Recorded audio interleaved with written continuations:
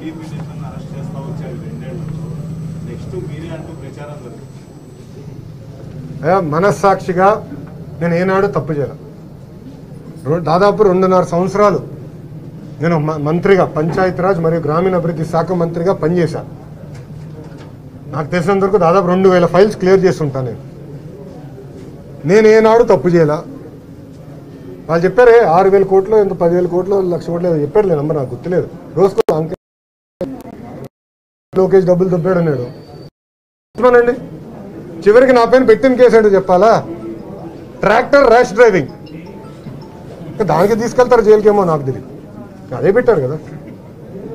నాకు లోకేష్ పైన ఇప్పుడున్న ఏకైక కేసు ట్రాక్టర్ ర్యాష్ డ్రైవింగ్.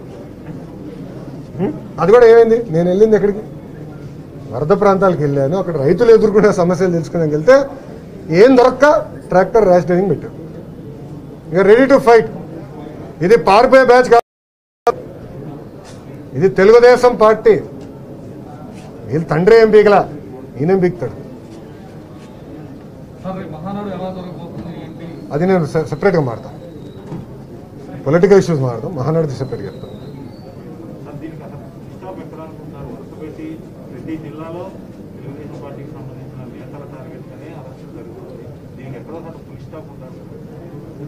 ఇప్పుడు మా ఓర్పు సహనాన్ని పరీక్షిస్తుంది ఈ ప్రభుత్వం.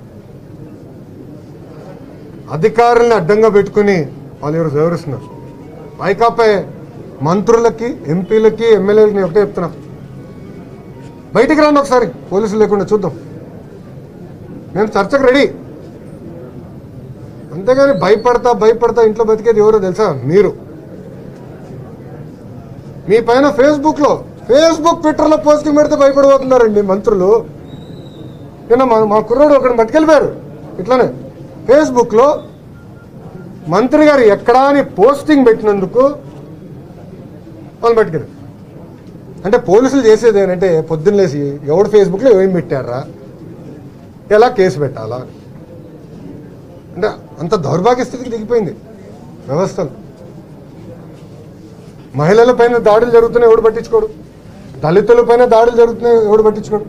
బడుగు బలహీన వర్గాలపైన దాడులు జరుగుతున్నాయి ఎవడు పట్టించుకోడు.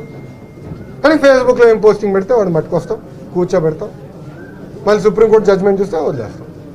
ఇదే అయిపోయింది ఇప్పుడు. పోలీస్ స్టేషన్ అంతా చూస్తే ఇందాక నరేంద్రన ఇప్పుడు అంటున్నారు రాజమండ్రి జైలుకి వెళ్తే ఆయన ముందర ఎవరెవరో తెలుగుదేశం పార్టీ నాయకులు వచ్చారో వాళ్ళే చెప్తున్నారంట.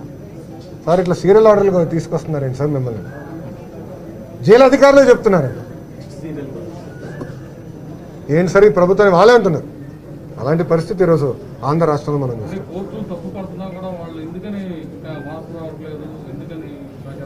ఇప్పుడు ఇప్పుడు సాడిజం సాడిస్ట్ వ్యక్తి ఉన్నప్పుడు ఏంటంటే ఇంకా కోర్టులు ప్రజలు ఒక గౌరవం కానీ మంచి చెడు ఏముండదు. అతను అనుకుని చేయాలా? పొద్దున్న లేస్తాడు నరేంద్రని పట్టుకెళ్ళాలా? పట్టుకెళ్తాడు. నన్ను కూడా ఒక అమరావతి ఉద్యమం అప్పుడు నన్ను ఆపితే అడిగా అరే నోటీస్ ఇవ్వాలి కదా నాకంటే. ఒకే షాగండి ఆగండి నేను ఎక్కడ రాస్తున్నాడు? అక్కడ ఫిలప్ చేశాడు నోటీస్. అంటే పైనుంచి ఫోను. సాటి స్టడీకి సడన్గా గుర్తొచ్చినట్టు. ఓకే ఈరోజు ఇతను చూసాం కదా కంటెంప్ట్ కూడా సుమోటో కంటెంప్ట్ చేసింది. హైకోర్టు అధికారుల పైన. వాళ్ళందరూ రేపు పోతారు. సర్వీస్ నుంచి చాలా మంది పోతారు. ఆ కేసులో చాలా మంది పోతారు. డౌటే వద్దు. అదన్నా తెలుసుకుని ఇప్పుడు అధికారులు మారాలని నేను కోరుతున్నాను. అంటే ఇంత జరుగుతున్నా కూడా కొంతమంది అధికారులు పర్టికులర్గా కేవలం టార్గెట్ చేసుకునే ఆ, పనిచేస్తున్న పరిస్థితి అయితే కనపడుతుంది. రెండు సంవత్సరాలు అయింది. ఎన్నికలు రేపు మాపు జరుగుతాయి కదా. అధికారంలోకి వచ్చే తెలుగుదేశం పార్టీ కదా. వాళ్ళతో మేము వదిలిపెట్టాం కదా. డౌట్ అవసరం. ఎవరైతే చట్టాన్ని ఉల్లంఘించారో వాళ్ళు వదిలిపెట్టే ప్రసక్తి లేదు. ఎవరన్నా ఉన్ని వాళ్ళు వదిలిపెట్టే ప్రసక్తి లేదు.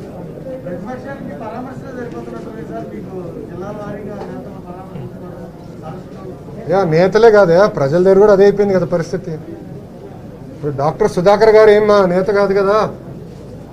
మంచి డాక్టర్ అవార్డులు వచ్చిన డాక్టర్ని గుండుపోటు వచ్చే విధంగా చేశాడు ఈ సాటిస్టుడికి గుండుపోటు వచ్చే విధంగా.